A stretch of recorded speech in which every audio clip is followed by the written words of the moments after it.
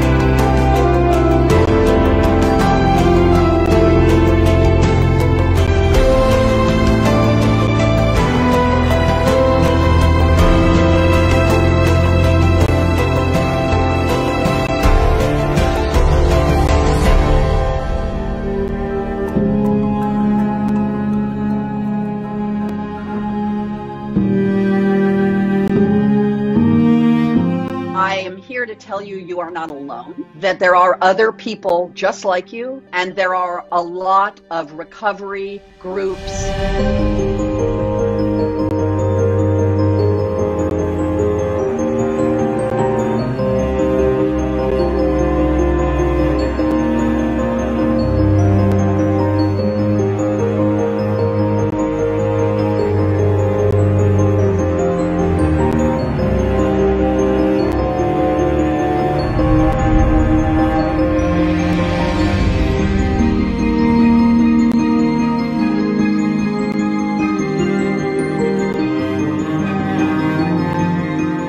And Kynthia are getting married in the backyard. I am officiating in May.